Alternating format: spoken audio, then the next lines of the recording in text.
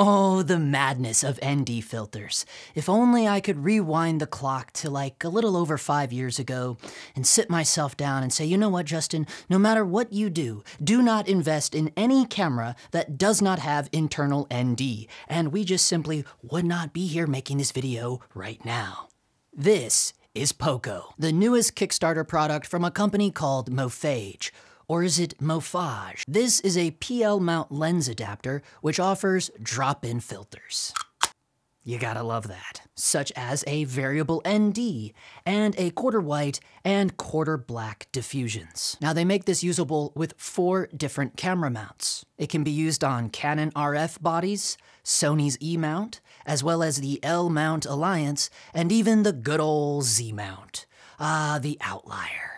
They're doing an early bird special right now for only 329 US dollars. Now, I had never heard of this company before, nor this product, until they reached out to me and asked me to give it a go. Now, we did get off on a little bit of a rough start because the original RF mount they sent me did not, in fact, fit on my red Komodo. Dot to dot. And it just, it doesn't want to twist. And I'm not hitting anything. I don't see anywhere where it could be hitting, it just won't twist.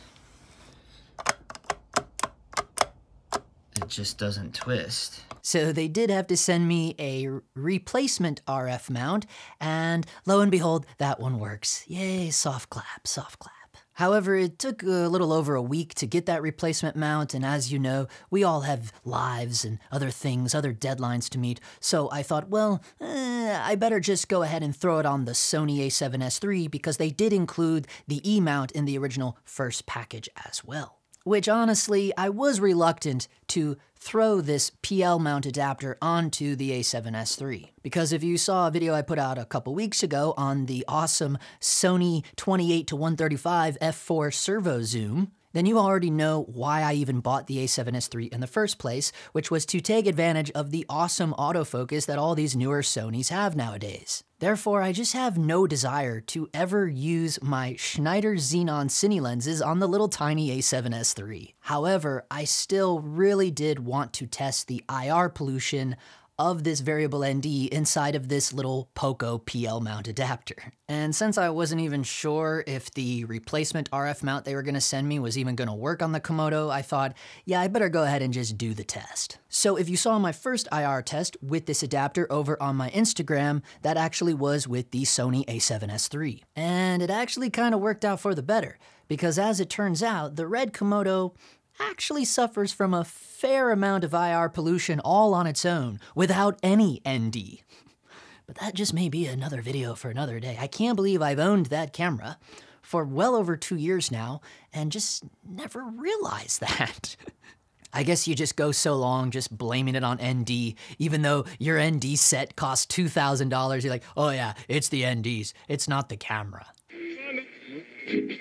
Okay, now if you are also an A7S III owner and this Poco PL mount adapter looks cool to you and you're thinking you want to use it on your little A7S III, you should be aware that this thing is not compatible with the A7S III when it is inside of a camera cage. Because any cages made for the A7S III have to make room for the I.O. ports, which are located on the left-hand side of the camera body. Therefore, the cage makes it impossible to remove the filter from inside of the adapter so you will have to remove your camera's cage. I just think it's something for everyone to be aware of because they are advertising this adapter to be used with mirrorless cameras. And yet, most mirrorless cameras have I.O. ports directly on the side of the camera. So if your HDMI port, for example, is on the left-hand side of your camera body, much like the a7S III, then chances are you will also have to remove your camera cage, in order to successfully use the POCO adapter. Otherwise, you will not be able to remove the filter nor access the filter wheel. Which brings me to the red Komodo. The first thing is I had to relocate my Mutiny.io record button, which isn't really that big of a deal. But also, as you can see here, the support foot on the bottom of the POCO adapter is too long and doesn't line up with the Komodo cage. Yet again with the cage. This is a standard 8Sinn cage, by the way, which is in fact compatible with the Kippertie Adapta mount that I've had for over two years now, and it fits perfectly and definitely allows for the support foot to tie down directly connecting it to the cage. So this means that when you're using the Poco adapter on your Komodo, there is zero support for those big PL mount lenses because the Poco support foot is too long to attach to the cage and yet too short to be able to directly connect it to a quick release plate. So much like A7S3 owners, Red Komodo users will also have to remove their cage. Now, a bonus of this 8Sinn cage that I have is that it completely comes apart. It's like a Lego cage, uh, which is actually one of the reasons I bought it. And if you subscribe to this channel, then you already know that I ditched the side plates of that 8Sinn cage some time ago and swapped those out with the GDU Derringer handle, and the other side has the GDU wing. However, you are still able to keep the actual base plate on the bottom. And I love that about the 8Sinn cage because most every other cage on the market is proprietary and specific to that camera. But the actual rod support, um, as you know, I use that on all of my cameras. So there are parts of it, honestly, the most expensive parts of the 8Sinn cage that are completely universal. And you saw that in my last video on the Sony Servo Zoom. However, I know a good amount of people that have different cages, more of those proprietary style cages like Tilta or Small Rig or whatever the case is, and you're not able to really pull them apart into little separate pieces like you can with the 8Sinn. So if I was one of those people that owned a normal cage, this Poco adapter would definitely be a hard pass for me right out the gate. Because a camera like the Komodo must absolutely be in some kind of cage because it's just a must. I mean, the thing is just a little cube, so without some sort of cage, you have no way to rig any of your AKS to that thing, not even a monitor. You know, but, you know, since this is a Kickstarter product and we're right at the beginning of this, and I think that's the whole point, or at least I would hope that's the point of guys like me being sent these products, um, you know, I'm, I'm guessing we could still finesse this support foot. Right, Mofaj? And if you need some guidance in that area, uh, I think the Kippertie Adapt mount would be a wonderful reference for you.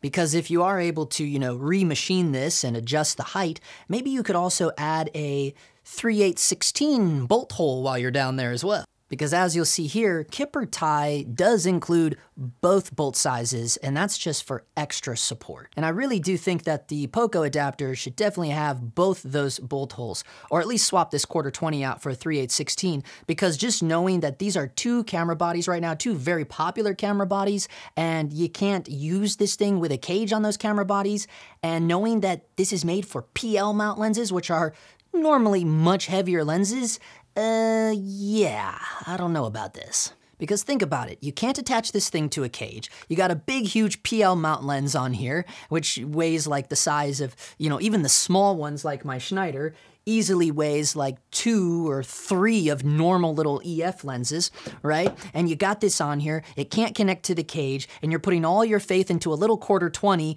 and it's just putting all that extra stress onto your little tiny mirrorless mount.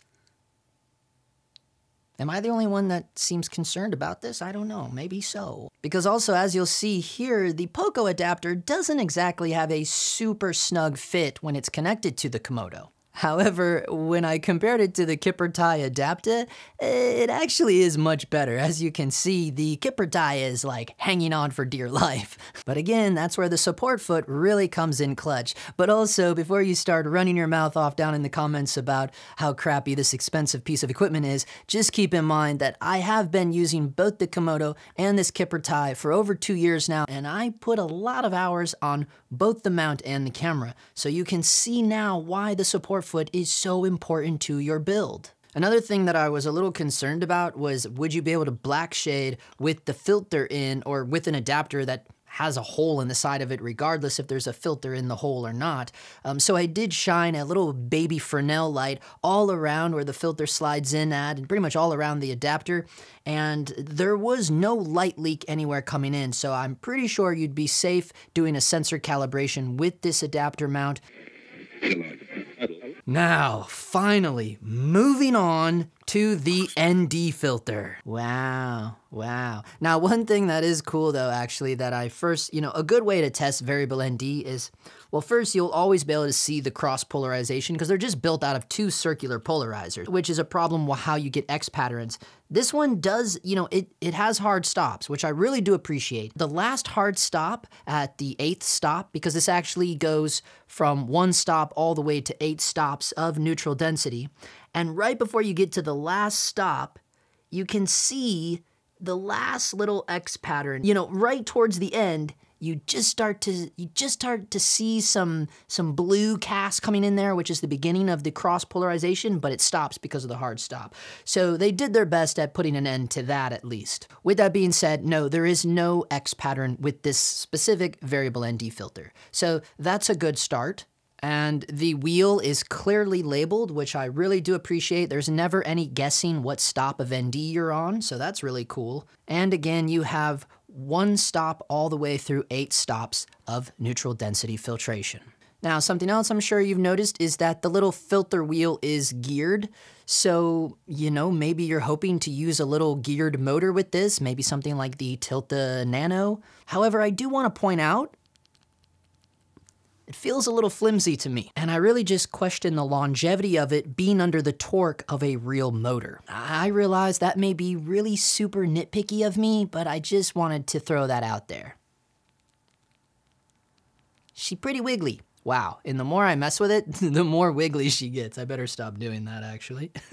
Anyways, let's get on with the test because the IR pollution of this variable ND is actually pretty severe. Now, as I mentioned earlier, the Komodo does have its own IR issues without any ND in the recipe, which makes it even more beneficial that I also did the test with the A7S III because it actually has really good IR filtration on that sensor. So you really get to see in the A7S III test how bad the IR pollution is on this little adapter. For those of you unaware, with most neutral density filters, you don't really start to see IR pollution until around the third stop, or 0.9. However, with the POCO variable ND, you do start to see the IR leaking in really quickly. Now, I made this really simple for you all. Just pay close attention to what each stop of ND does to my black outfit, or even the difference of the color of my skin or the color of the wall in the background. But also, beyond the IR pollution, I want to encourage you to pay attention to the out of focus areas and the bokeh as well. So, as it is with most behind the lens filtration,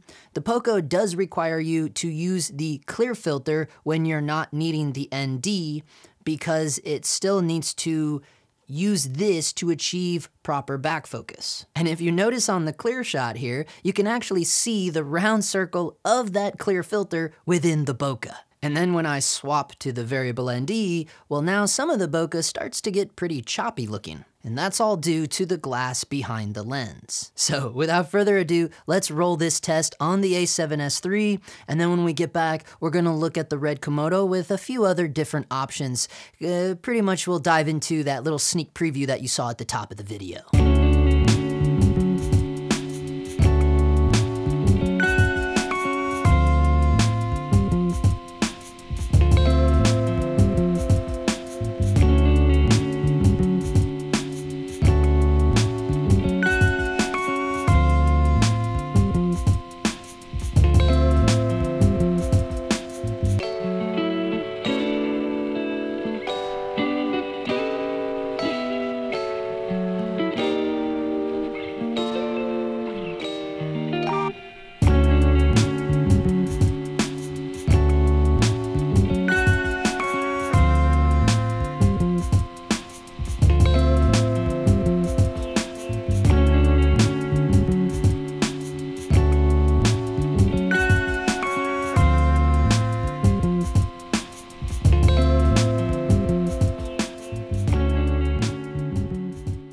So since I did end up getting the new replacement RF mount and it actually worked on the Komodo, I thought, oh, perfect, this is just in time. I literally just got it today, the day that I had the talking heads scheduled to be done. So good for them. They got it in just in time um, because I actually was really excited to not only try this on the Komodo, but also it would allow me to compare against uh, a couple other options that I've been using for the past couple years now, specifically on the Komodo. The first one is the Bright Tangerine one tray combo that I use, and I really do think it's a super convenient option for professional variable ND. The really nice thing about the one tray is that you decide which glass goes inside. So you build this guy with a 138 millimeter circular polarizer of your choice.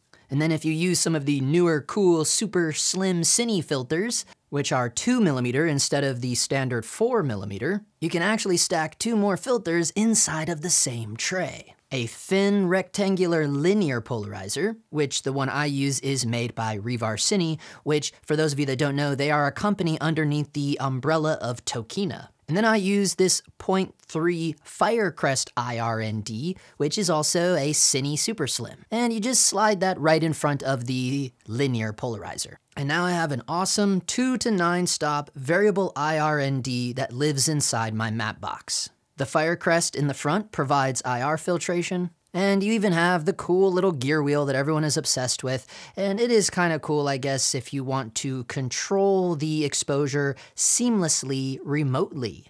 Ooh, two adverbs back to back.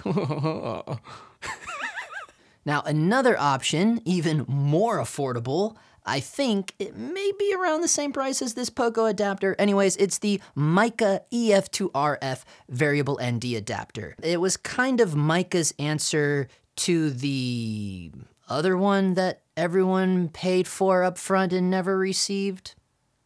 Now, I know the Meike one is not as cool because it's not PL mount, but actually, you know, a lot of budget friendly cine lenses nowadays are coming with both options, making it very easy to swap between PL or EF. I mean, even my high end Schneider Xenons allow me to swap between PL and EF, and honestly, I love that. I don't know. I just like having EF, and then it's easier to swap between all of my cameras.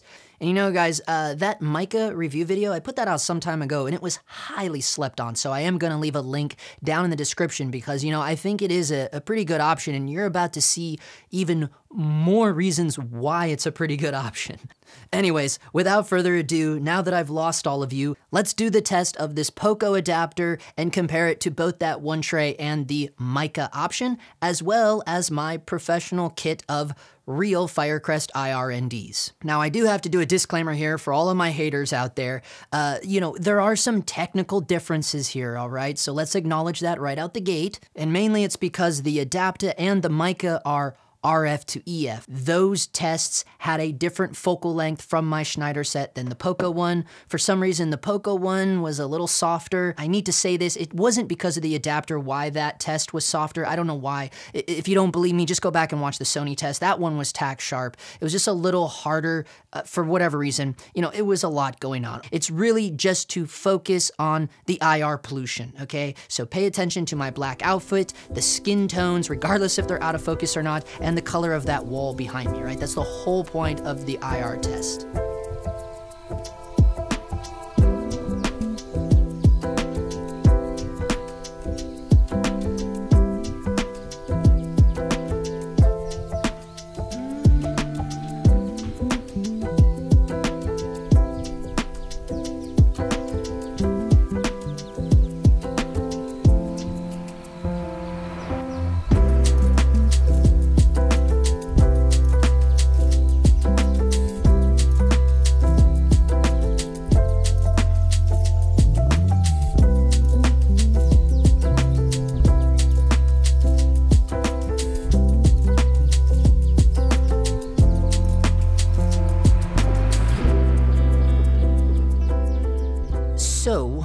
Honestly, outside of the actual Panavision sized Firecrest IRNDs, I'm gonna be straight up here. All three of the variable options, they are disappointing. Let's just be honest and let's be real with ourselves. All three of the variable ND options are disappointing. And I mean, it kind of even sucks for me that the one tray has just as bad of color shift as both the Meike and the Poco adapter. And I only say that because, you know, all the parts and pieces that went into making that uh, Revar Cine, you know, big, huge one tray variable ND adapter. It was very expensive, so that's why I say it, it's a bummer for me. That was that was probably, but honestly, the majority of the price of that kit is because of the polarizer and the tray itself. So yeah, they all clearly have uh, some sort of color shift. Granted, I do still think that the Poco's colors were contaminated the most. And I also think the Poco suffers the most from IR pollution. Just go back to the Sony test, and that is really eye opening. My jacket just was getting redder and redder throughout that entire Sony test. Funny enough, the little Meike adapter holds it down pretty damn well. In fact, in the future, I may just choose the Meike over the one tray, and then I'll just put a one-stop IRND in the matte box up front. You know, that would still be way less glass sitting in front in the matte box. I mean, I guess you could easily do that with the Poco adapter as well. However, you know, sure, the the one-stop IRND in the matte box in front of the Poco adapter is going to solve the IR filtration, but it's not going to fix the huge color shift. Now again, I have to keep circling back around to this because I don't want everyone to start crap talking the one tray because the reality is, you know, you always need a polarizer and you sometimes need diopters. And those are the two main reasons why Bright Tangerine ever even made the one tray to begin with. The idea of building this huge variable ND was just like a bonus of that kit. In the end, nobody wants the dark colors in their image to be rusty red when they're supposed to be black. Your foliage should actually be green if it was green in real life. And honestly, with a really good variable ND, you should not see any color shift all the way up until six stops. Those should be clean. However, I can't seem to find this unicorn variable ND because it doesn't exist. So in the end, I guess it's up to you, the viewer, how much you really care about the quality of the images that you are capturing. And how much time do you actually want to sit at a desk like this and spend hours in post fixing colors? I know some of you love spinning the wheels, but not when it's to do that much correction, right? We want to be more on the creative side. Come on, man. Right? Look, the fact is that this Poco adapter is specifically made for PL mount lenses, lenses that were intended for the highest quality level of movie making. And, uh, I don't know, the jury is still out for me on that one. But yo, this is a Kickstarter product, so maybe they could go back to the drawing board, you know, and uh, do something different in their variable ND formula. But I can tell you right now, if they do add IR cut to this somehow, um, the price is gonna go up, way up. Because the reality is, at the end of the day, if you just take this adapter for what it is at its core, which is a super solid PL mount lens adapter, yeah, I go dirty all over my audio. I don't care. I'm trying to make a point, man. This is a hardcore, sturdy PL mount.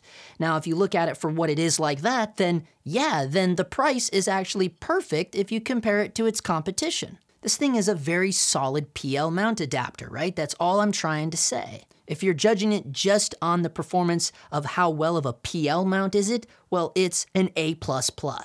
I have no qualms with the build quality and the reliability of this thing as just a PL mount adapter. I do think they still have some adjustments to be made in figuring out the whole RF mount situation, you know, let's just make sure that it actually fits on all RF camera mount bodies. And then, you know, yeah, obviously it would be nice if we could do something different with the variable ND. Could it be a variable IRND? Could they just make another one of these and sell it separately as a variable IRND? Could they make these as separate single IRNDs that you slide in and out? Now we're getting somewhere. But then they're like, yeah, Justin, but who's gonna get the money to actually make the shit, man? And then you're like, oh, yeah, by the way, I have an appointment at five. Uh, talk to you never. in the end, uh, all of that to say, if you take everything that I just said into account, well, not everything, but you know, the important shit, you know, the reality is this thing is perfectly priced for what it is. Especially considering that that Bright Tangerine one tray kit that I have, with all the parts that are inside of it, again, that will probably run you around 1500 bucks.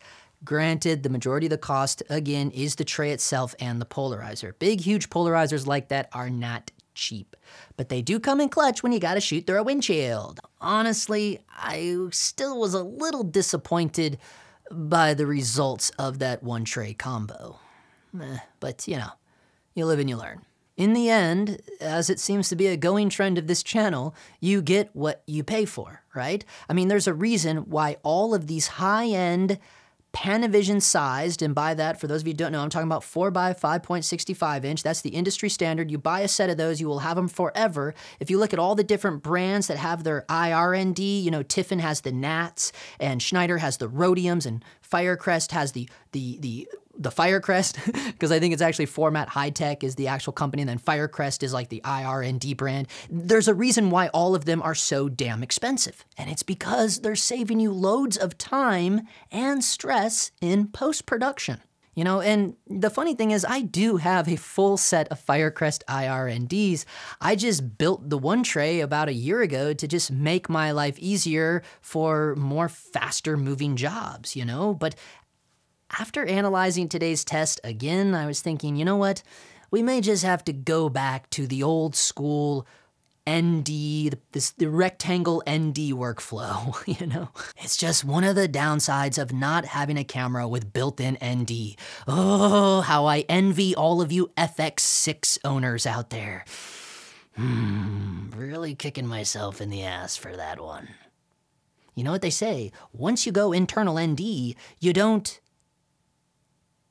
go back? okay, anyways, links are down below for all this nonsense we talked about today, as always. And, um, you know, if you're actually literally still watching this and you have not subscribed to the channel, just, man, come on, bro, or gal, or woman, just hit the subscribe button. You know, it's really gonna help me out, being able to push me a little bit further. You know, I got a lot of competition with all those big boys out there, you know, and I wanna keep making these videos for you all. So just, just do it, man. Just hit the subscribe button, hit the like button if you really feel inclined, it'd be really rad if you hit the share button, you know, but I don't know. This may not be the video to hit the share button on, you know, considering that one of my tests was completely out of focus. I gotta give a shout out to this month's Patreon producer, Mr. David Carroll. And if you are a member of the Dog Times Patreon, be on the lookout. Be sure to check out this week's video because we've already started diving in and tackling the breakdowns and the BTS of the really wild two day documentary style music video that I shot. And, uh, you know, I did that with the little A7S III and the awesome 28 to 135 f4 servo zoom lens, as well as the two little baby G lenses on the Ronin. And I'll have you all know there were no variable NDs used on that job. Just all old school Firecrest IRND, baby. And we did use just the polarizer. So, yeah. Anyways, thank you all for watching. I cannot believe we made it through that. I think I'm literally losing my mind. Anyways, thank you all for the support. And for now, that is a wrap.